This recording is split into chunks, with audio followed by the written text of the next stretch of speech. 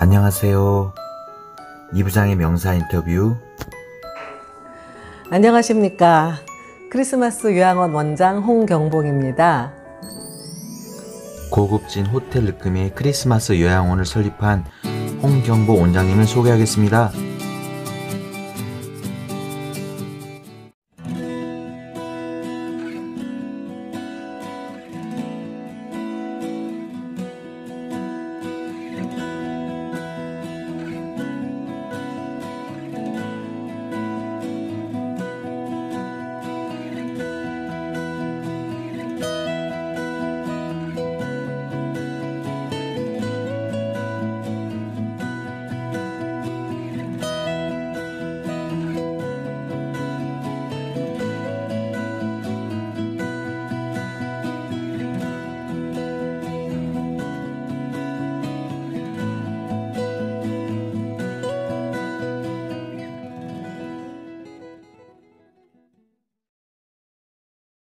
네, 저희 요양원을 이렇게 방문해 주셔서 감사합니다.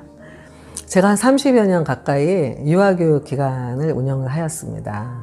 예, 그래서 어, 80세까지 제가 어, 유아교육 기관의 기관장으로 있으리라 마음을 먹었었는데 저출산 시대를 맞이하고 또 고령화 사회를 맞이하면서 어르신들에게 눈을 돌리게 된 건 맞는데요.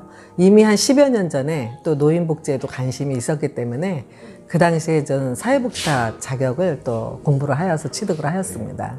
예, 그래서 이제 준비된 자에게는 기회가 오면 할 수 있다고 어, 마침 그 자격증도 있고 하시, 해서 그 요양원을 개원하는데 큰 무리 없이 예, 큰 부담 없이 시작하게 되었습니다. 예, 크리스마스 요양원이라고 지은 것은 요양원이라 하면 너무 어둡고 너무 칙칙하고 또 그런 분위기가 많이들 있으셔서 어, 크리스마스라 하면 기쁘고 즐겁고 행복하잖아요.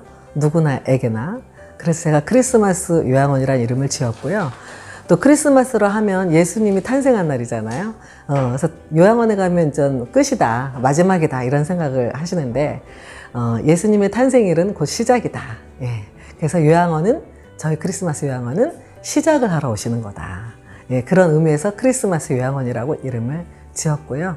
전반적인 분위기와 이런 컨셉은 어, 저희가 친정 어머니를 옛날에 요양원에 모셨었는데 아, 굉장히 발걸음이 안 떨어지더라고요. 예, 그래서 제가 어, 보호자들이 발걸음이 잘 떨어지는 그런 분위기는 어떤 걸까? 그리고 어머님, 아버님들이 여기 오셨을 때 아, 얼른 들어가야겠다라는 마음을 갖는 것은 무엇일까?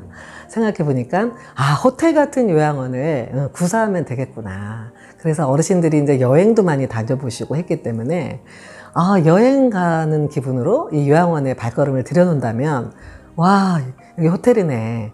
이러고서 아주 쉽게 어르신들이 이제 요양원이라고 생각 안 하고 입수하실 것 같아서 컨셉을 호텔 로비로 생각하고 많이 잡았고요. 어, 그리고 어, 분위기도 아까 같이 이제 보호자들이 발걸음이 떨어지지 않을 정도로 어, 이렇게 어둡고 칙칙한 것보다는 좀 밝고 럭셔리한 게 좋을 것 같아서 예, 그렇게 컨셉을 잡고 인테리어를 하였습니다.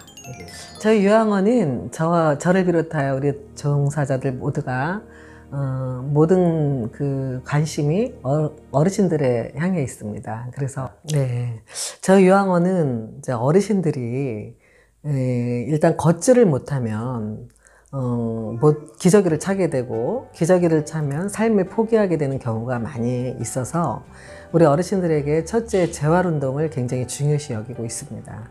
어르신들에게 할 수 있는 재활 운동은 걷는 거, 예, 일단 제자리에서 서는 거, 침대에서는 관절 구축 운동을 하는 거 이런 걸로 이제 재활 치료를 하고 있고요.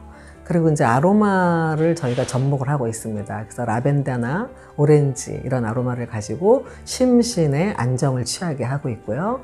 또 꽃이나 나무 이런 동물 이런 것들을 접목하여서 정서적 치료도 하고 있습니다. 그리고 조격 체험이라든가 우리 샤워 이런 것들을 굉장히 중요시 여기고 있기 때문에 어, 어르신들이 이제 그러한 이제 프로그램 활동에도 굉장히 열심히 참여할 수 있는 그런 프로그램으로 저희가 운영되어지고 있고요. 어, 또 이제 먹거리 부분에 있어서 어르신들이 또 잘 드셔야 되니까, 예, 그래서 이제 특식을 제공하고 있습니다.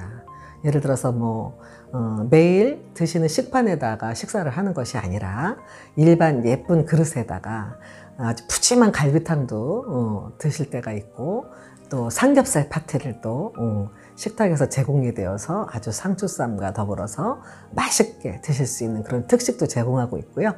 내일 모레는 또 전복 파티를 합니다.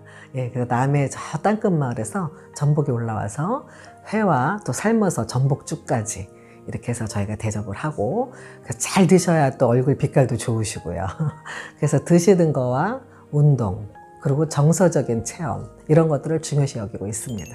저와 저희 직원들은 우리가 이제 실질적으로 어르신들한테 좋은 것을 해 드릴 때 그게 홍보이자 가장 큰 마케팅이라고 생각을 해서 최선을 다해서 어, 다른 데서 안 하는 그런 것들을 생각하면서 저희들이 마케팅 홍보 전략도 물론 활용하면서 하고 있지만 어, 뭐 지하철이라든가 현수막 내지는 블로그 또 SNS 홈페이지 등 다양하게 음, 저희가 홍보 활동을 하고 있습니다. 그런데 어, 특히 저희가 이제 홍보가 잘 되고 있는 것은 어, 보호자들 입을 통해서 어, 소개가 많이 들어오고 있습니다. 저희가 개원한 지 이제 10개월 좀 넘었는데요. 예, 벌써 한 30여 명의 어르신들이 저희 요양원에 입소를 하셨습니다. 그래서 어, 저희들이 나름 보람과 긍지를 가지고 이 요양원을 좀 운영하고 있습니다. 아, 제가 여태까지 좌우명이라고 생각한 것은 어, 길이 아니면 가지를 말라였습니다.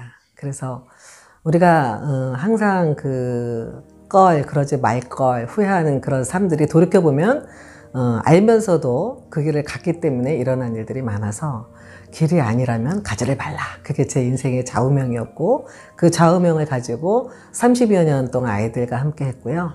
나머지 남은 인생은 이제 어르신들과 함께 하려고 어, 제가 이렇게 꿈을 꾸고 있습니다. 처음에는 좀 당황스러운 일들도 많이 있었지만 지금은 아, 굉장히 보람 있는 일이다. 이런 생각을 하고요. 어, 어린이들을 가르칠 때는 어린이들 시절로 돌아갈 수는 없잖아요. 제가. 근데 이제 어르신들을 보면서는 아, 바로 내 모습이구나, 앞으로. 어, 이런 것들이 많이 와닿아서 이 일이 굉장히 아주 저와 아주 밀접한 관계를 갖고 있는 그런 일이라고 생각하면서 네, 하루하루를 보내고 있고요. 어르신들이나 항상 뭐 저희 직원들한테 이야기하는 것은 어, 성경에서는 이제 사랑이 제일이라고 하지만 물론 사랑도 좋지만 저는 우리 어르신들에게는 평안이 가장 중요한 거라고 생각합니다. 그래서 아무리 사랑이 있어도 평안이 없으면 어르신들은 불안해하고 아무리 기쁘고 슬, 좋은 일이 있어도 어르신들에게 마음이 평안이 없을 때는 그게 다 어, 아무 의미가 없더라고요. 그래서 어르신들한테 항상 평안을 위해서 기도해 드리고 있고요. 그리고 항상 평안하세요라고 이야기하고 있습니다.